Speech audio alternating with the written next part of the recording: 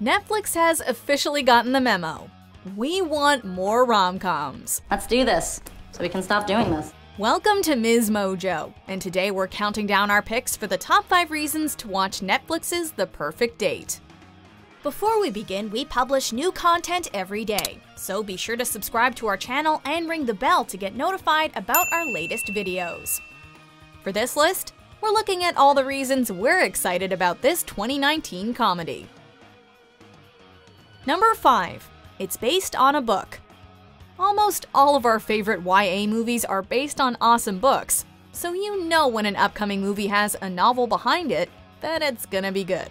The Perfect Date is inspired by a novel called The Stand In by author and screenwriter Steve Bloom, with a hardcover edition released in 2016. Though Bloom also co wrote the screenplays for James and the Giant Peach and The Sure Thing, we wouldn't be too surprised if you've never heard of this book. At the time of writing, there were less than 100 ratings on Goodreads.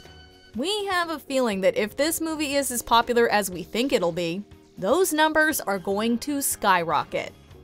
Number 4. The Modern Plot The plot of this movie is one that feels like a classic romantic comedy storyline, but with a modern twist. Main character Brooks desperately wants to attend an Ivy League college, and he has the marks to get in, but not the cash to pay for it. I'll take you, cousin. What? After agreeing to take on a job where he plays a girl's date to a semi formal dance, he realizes that he might be onto something. Every date would be custom built. They could pick my personality, my interests, whether I'm a listener or a talker.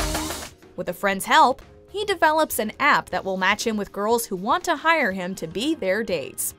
Number 3. Laura Marano. One of the major reasons people are getting excited about this movie is the stellar cast. Camila Mendes of Riverdale fame plays Shelby Pace, the girl of Brooks's dreams.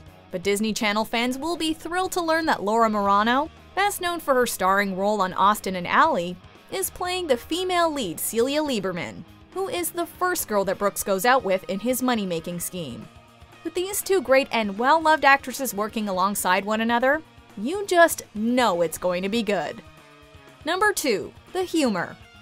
In these difficult times where we seem constantly bombarded by bad news, sometimes we just need something humorous and fluffy. That's why movies like 2018's To All the Boys I've Loved Before have been such a hit. They provide the perfect lighthearted and cozy antidote to the stressors we all face. I can't believe you're dating Kavinsky. Why? I mean, is it so unbelievable that someone could like me? The Perfect Date seems like it's going to follow the same formula, and will definitely deliver the laughs. In the trailer alone, Brooks makes a joke about Barack and Michelle Obama that had us giggling. Did you know that Michelle Obama got paid to go on a date with Barack? And look how great that turned out. Is that true? I don't know. But it could be true. And that is my point. Not to mention, the premise of the story lends itself perfectly to humor, with Brooks reinventing himself for each date. What are some of your interests outside of school? Howdy. Number 1. Noah Centineo. Yeah, we know why you're all here.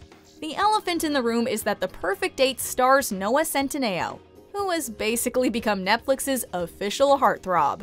After finding fame starring as Peter Kavinsky in To All the Boys I've Loved Before, he also appeared as the male lead in the teen comedy Sierra Burgess is a Loser, both of which were released in 2018. Centineo has clearly found his niche sweet and romantic high school films, and we're not complaining about the formula because we would watch him in just about anything. There's no other way to see it. Do you agree with our picks? Check out these other great clips from Ms. Mojo and be sure to subscribe and ring the bell to be notified about our latest videos.